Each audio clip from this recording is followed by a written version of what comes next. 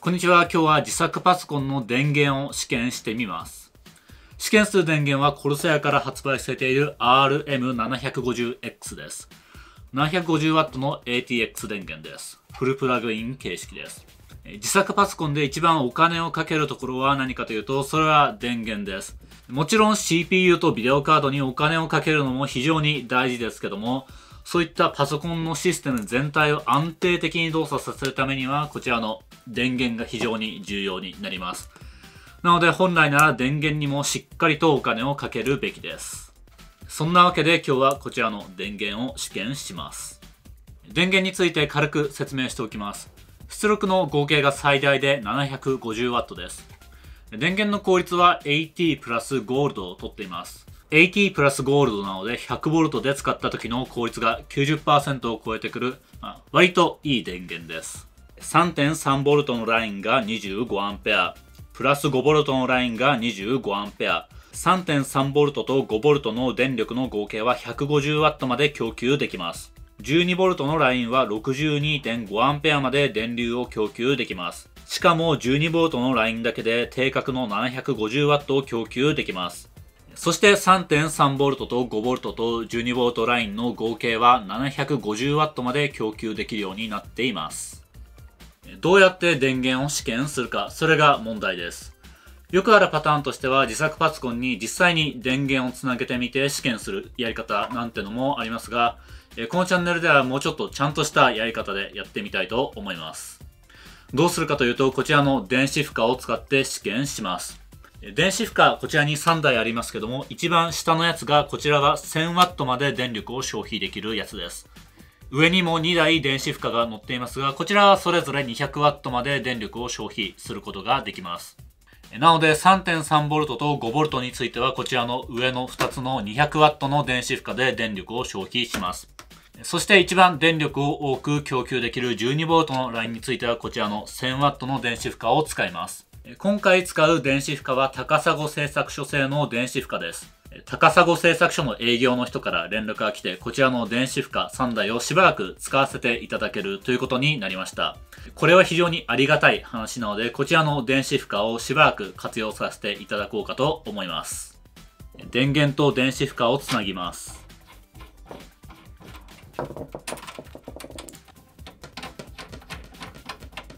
これは 12V のラインです。5V と 3.3V もつないでいきます。電源を単体で使えるようにするためにこの部分を短絡します。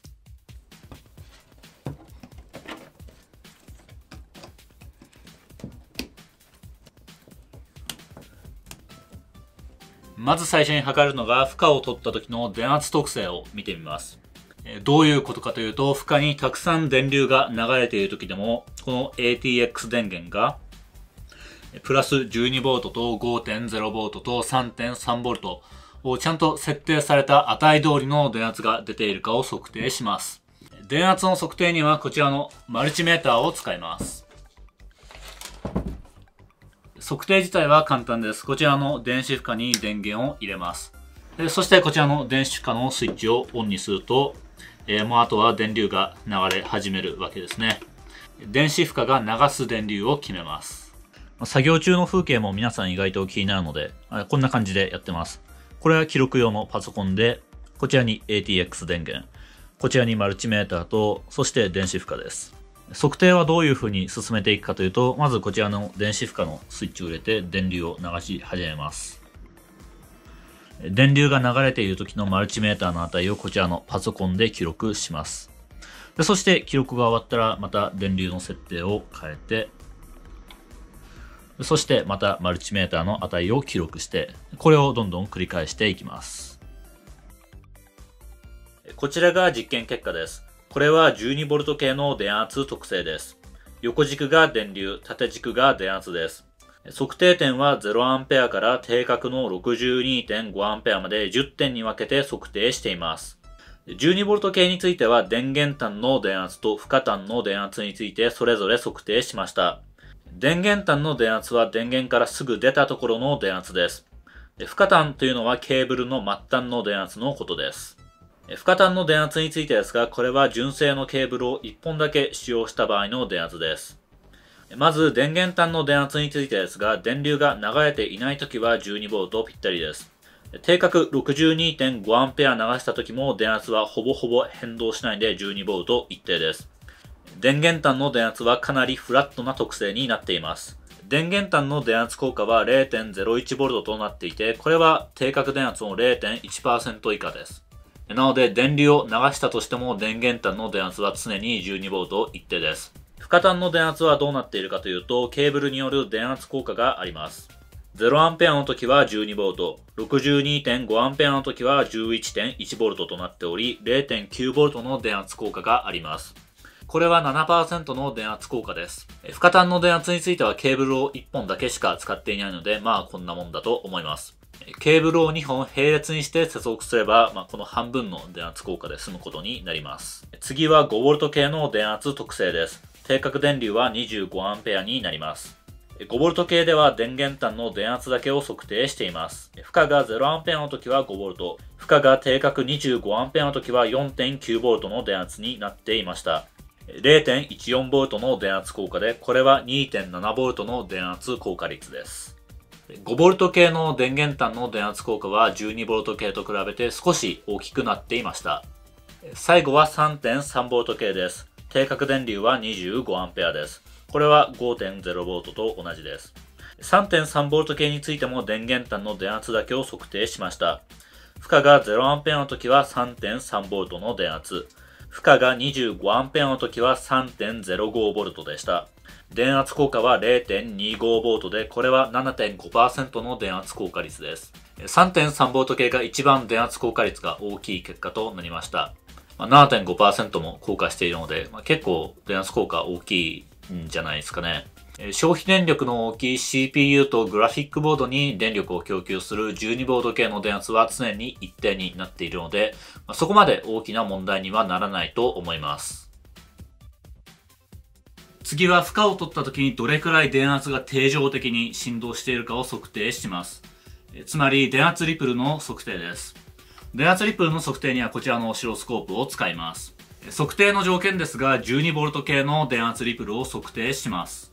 0%負荷、50%負荷、そして100%負荷の時の3パターンを測定します。これは電流が全く流れていない0%負荷の時の電圧リプル波形です。まあ、電圧リプルはほぼないですね。まあ当たり前だと思います。次は50%負荷、電流を 31.25A 流した時の電圧リプル波形です。まあ、電圧リプル見てみると大体 10mV くらい振動していますね。ただ、オシロスコープの分解能がそこまで高くないので、この 10mV という値が信頼に値するかというのは、ちょっと疑問が残りますけども、まあ、おおよそ 10mV くらい振動しています。次は100%負荷 62.5A 流した時の電圧リプル波形です。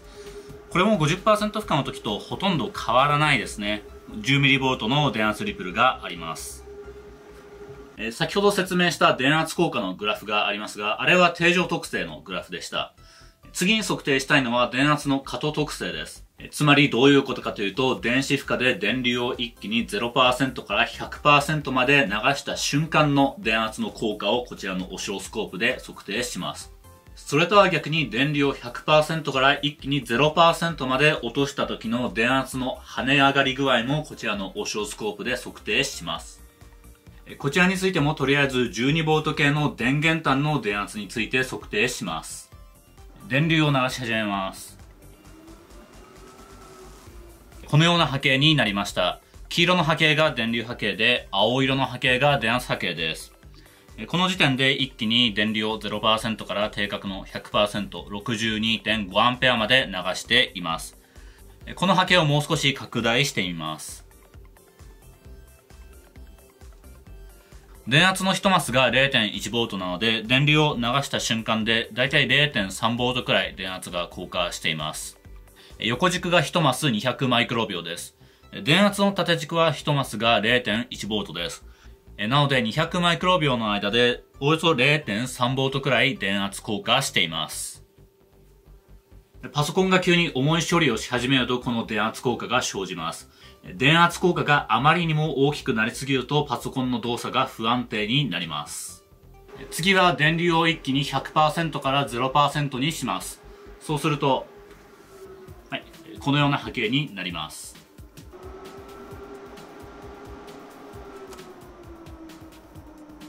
電流を 0A にした瞬間、電圧が一気に跳ね上がっています。1マスが 0.1V なので、だいたい 0.4V くらい電圧が上昇しています。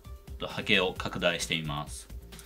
この時点で電流が 0A になります。そうすると電圧が 0.4V 上昇します。このように電圧は一時的に増加していますけども、これにはちゃんと理由があります。まあ、いろいろ理由があるんですけども、ATX 電源の制御の問題であったり、あとはこちらの配線のインダクタンスですね。配線が持っているインダクタンスによってこのように電圧が上昇することも考えられます。というか、まあそれがこのように電圧が跳ね上がった原因ですね。次にやりたいことは何かというと、交流 100V 側の電流波形の測定です。こういった大電力を消費する製品はいかに電流波形をきれいにするかということが重要です。電流波形が汚いと他の電子機器に影響を与えることがあります。なのでこれから交流 100V 側の電流波形を測定します。50%負荷の時の波形を測定すれば問題ないでしょう。オシロスコープに交流 100V50Hz の電圧波形が出ています。ここで電子負荷のスイッチを入れて電流を流し始めます。そうすると、交流 100V 側に電流が流れ始めました。これが電圧波形と電流波形です。青色が電圧波形で、黄色が電流波形です。この交流 100V の電圧なんですけど、このちょうどてっぺんの部分が歪んでますね。黄色の電流波形についてはほぼほぼ制限波になっています。ちょっと時間を拡大しています。こんな感じでちょうど 0V とクロスするところで、え少しだけ電流が歪んでいますけども、それ以外のところはまあ、電流、電圧波形と、まあ、かなり似たような波形になっています。まあ、力率もかなり高いです。で波形からわかる通り、基本波の力率はかなり高くて、まあ、ほぼほぼ1だと思います。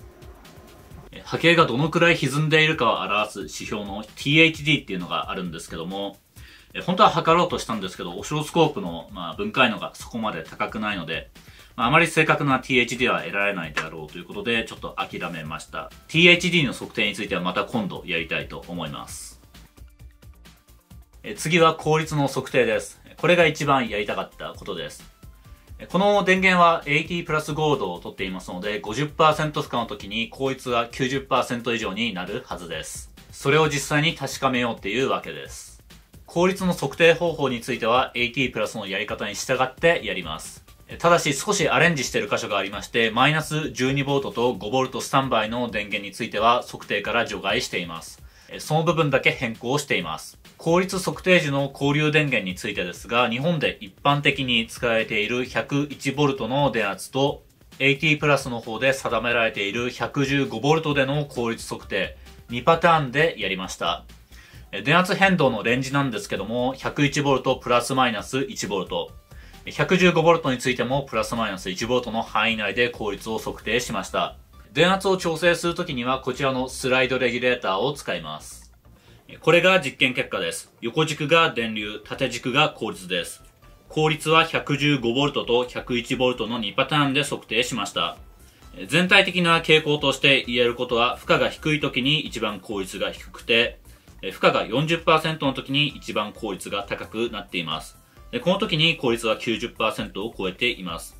そして負荷が40%より増えていくと効率はどんどん下がるといった感じです。また電源電圧が 115V の時の方が効率が1%ほど高くなっています。AT プラスゴールドだと20%負荷の時に効率が87%、50%負荷の時に効率は90%以上、そして100%負荷の時に効率は87%以上になります。実際 115V で測定した結果を見てみると、20%負荷では効率は90%、50%負荷の時に効率は91%、そして100%負荷の時に効率は87%になっています。なので AT プラスゴールドの基準をしっかりと守っていることがわかります。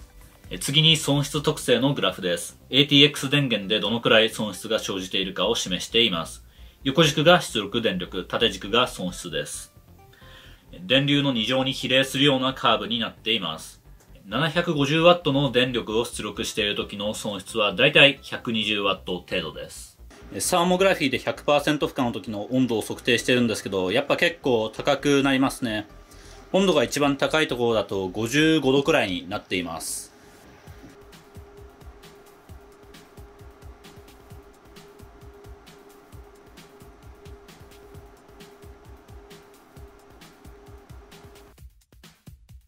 え次にやりたいのは過負荷になった時にどのくらいで保護が働くかです。まず 3.3V 系からやってみます。定格電流は 25A です。電流を 1A ずつ大きくしていきます。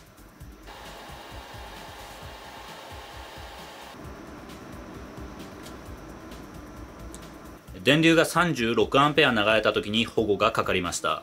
これは定格電流の140%です。次は 5V 系です。こちらも定格電流は 25A です。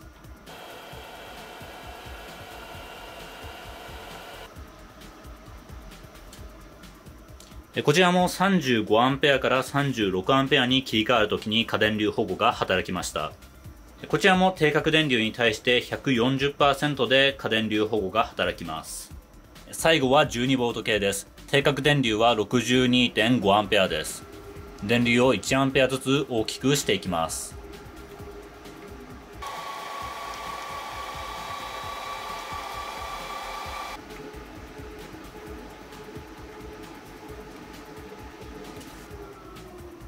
はい。